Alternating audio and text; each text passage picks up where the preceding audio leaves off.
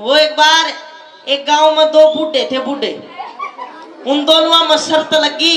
एक बोला, भाई, मैं ज़्यादा समझदार हूँ, दूसरा बोला, मैं समझदार हूँ। दोनों में फैसला ना हुआ कौन सा समझदार है। अब दोनों ने सलाह मिलाई कि, भाई, तुम बस में बैठ लो और बस में बैठ कर हरिद्वार चलेंगे। जो बिना किराया दिए, बिना टिकट लिए हरिद्वार पहुँच जाएगा वो समझदार एक बूढ़ा बस में आगे तो चढ़ लिया, डीटीसी में पीछे तो चढ़ लिया। अब पहले बूढ़े के पास में वो कंडक्टर आया। आगे बोला वो टिकट। अब बूढ़े आदमी समझदार दिमागदार बहुत होया करे। तब उन्हें दिमाग लगाया, बोले, भाई पिछाना नहीं मैं तेरे गाँव का। राम फड़े। अब वो कंडक्टर बोला, तू बावली बूझ मत बनाओ, टिकट दिखा। अब ताऊ ने सोची, और टेक्निक काम नहीं करी, और दिमाग घुमाया। कंडक्टर तो बोला, भाई, एक बात बता। जिस बस में तेरी बहन बैठ जाओ उस टिकट ले होगा तू? कंडक्टर बोला, ना तो अगर बेबे बहन बैठ गई उसे तो मान सम्मान के ग्यारह रुपए भी दूँगा, चाय भी पियाऊँगा, केले भी दुआऊँगा टिकट की भी टाल कर दूँगा।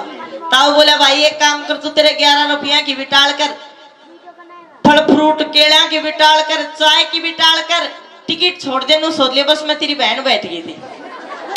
अब कंडक्टर ने सोची इतनी उम्र का बुढ़ा तेरी बेबे, तेरी बहन बन गया, के टिकट लेगा, आग गया, वो दूसरा जगह बैठा था, वो दिशा। बोले हाँ ताऊ, तू देगा टिकट, तू काट ताऊ बोले भाई टिकट मैं भी नहीं लूँगा बोले तू क्यों नहीं ले नुकता ने उस आगले बुढ़े की नहीं ली वो कंडक्टर बोला कि वो अगला बुढ़ा जो है वो मेरी बहन बन गया मैंने नू नहीं ली वो ताऊ बोला भाई फिर लूँगा मैं भी नहीं बोल तू क्यों नहीं लेगा ये सोच ले बस मैं तेरी बहन की गैल तेरा जीजा भी बैठ गया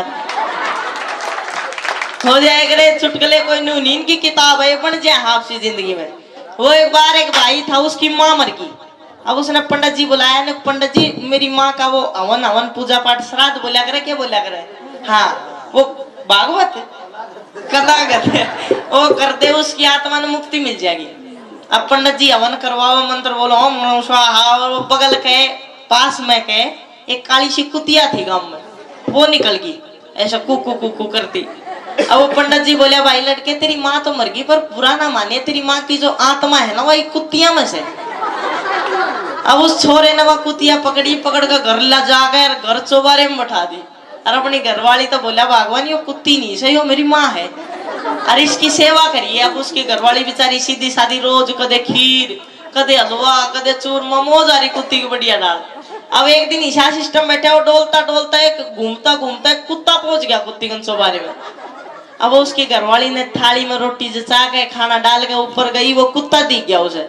और थाली फेंक कर नीचे आगे गुस्से में भर गई, आके घर आ लेते बोली, मैं ना देती तेरी माँ ने रोटी खाना। नु क्यों? क्या बात होगी? बोलना, अपनी माँ को अपना आप दे। बोले, यार, कोई बात भी हुई होगी। नुक आज तेरी माँ अकेली ना थी, आज तेरा बाप भी पास में बैठा था।